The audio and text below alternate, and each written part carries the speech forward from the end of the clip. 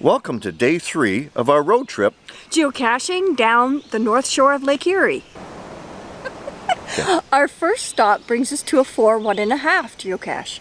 Yeah, so let's get going. See if we can find this creative hide. Let's go.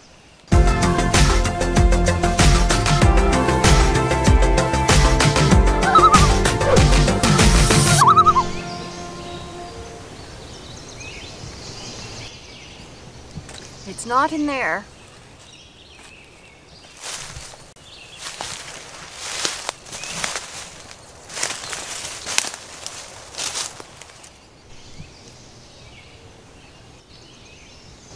Oh, there's something here. Oh. That's promising because that matches the hint. Aha, we got it. Yay! I'm glad that didn't take too long because sometimes, We're stumped by some of these. yeah, but uh, this one makes sense, you know, a tap in the woods. It's right near a well, so that kind of makes sense. Otherwise, it would be very out of place. Very cool. Deserves a favorite point for sure.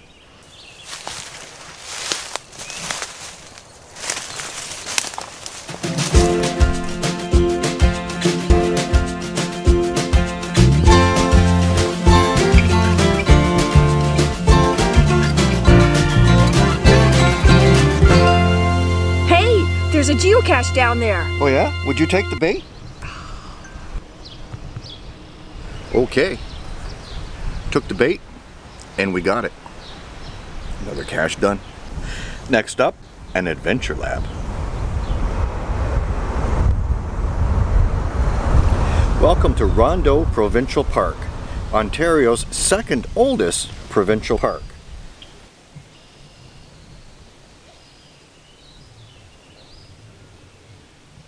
This adventure lab takes you to seven stops along the popular Tulip Tree Trail.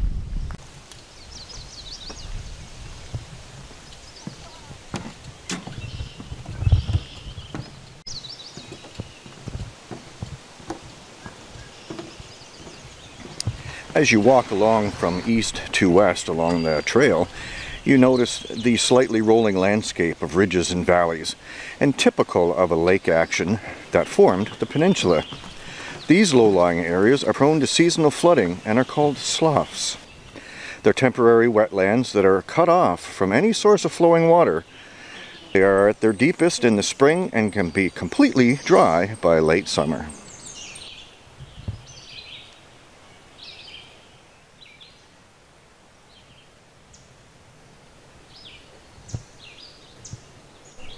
Just walking along the path, we were lucky to be able to spot a blue-tailed skink.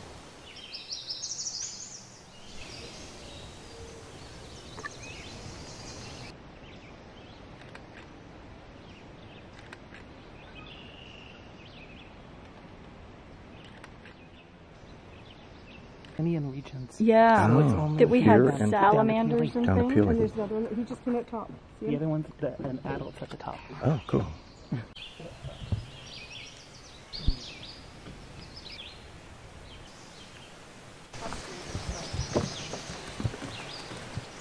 It was a really interesting adventure lab. We got to see some new species. We even got to see a blue-tailed sphinx. Skink. Skink. We got to Skink. s- we got to see a blue-tailed spink. Skink. We got to see a blue-tailed skink, which is rare to the area. Yep.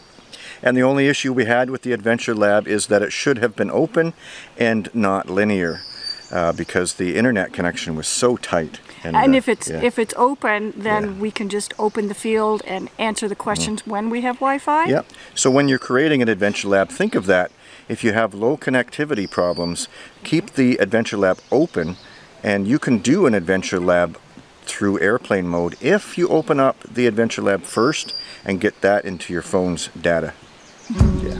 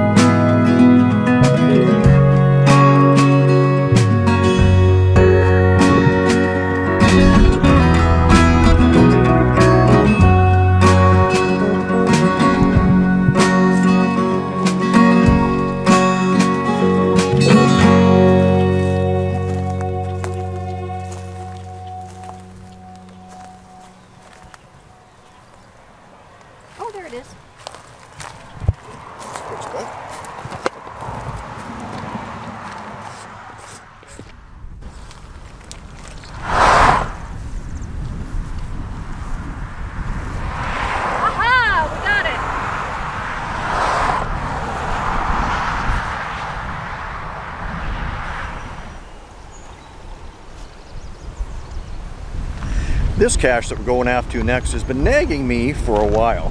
It was placed in 2003 and it's not that far from home. It's at John E. Pierce Provincial Park and it's a beautiful trail to get there and hopefully we'll get this one. It's only a 1-1 so it shouldn't be that hard. In theory. In theory.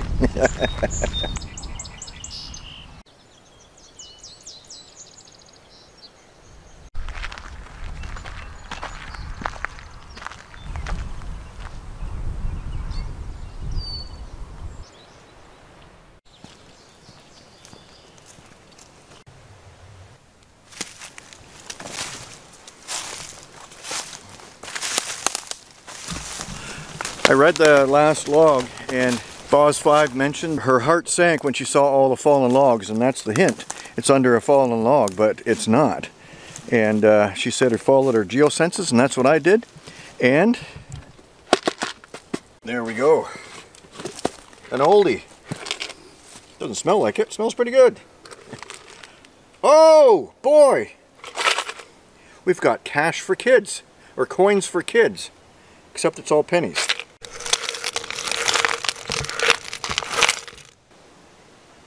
What do we do, Neil?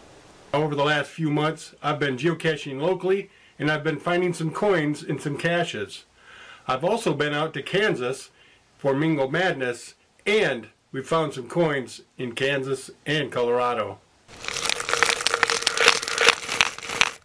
I hope that you're finding coins and that you're saving them for December when Geocache Talk has their podcast of hope and you can donate that to St. Jude's Children's Hospital. Thank you for watching, and I hope that you're participating in hashtag Coins for Kids. They're all pennies, and Canada doesn't have pennies anymore, and there there's some American ones in there, but I don't, you can't take them to the bank anymore. But I was able to pull out 25 cents. So we'll put that towards our Coins for Kids campaign for St. Jude's. So nice to finally get that one done. Yeah, that was a challenging one to find. Yeah, and I'm glad it wasn't a DNF. That would have been embarrassing. so right now, uh, this is nearing the end of this episode, mm -hmm. and we'll see you again uh, further along. Yeah, we're continuing on the north shore of Lake Erie. Yep. But right now, we're on our way to do a live broadcast with, with Hailmeister, Hailmeister, which is why we've been wearing these shirts all day, because today, this episode, is Hailmeister Day. 1,000 subscribers he's got. Yes, he's done so well. So uh, we're going to be on the 1,000 subscriber and help him celebrate milestone episode. And you can check the link to that right here. Right there? Right there, yeah. Right there? So there you go.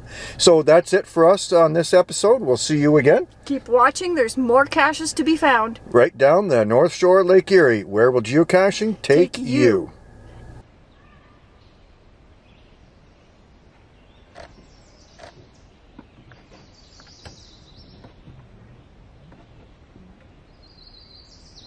I don't even see it. Oh, there.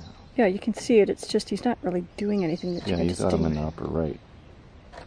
Our first stop brings us to a four, one and a half geocache. yeah.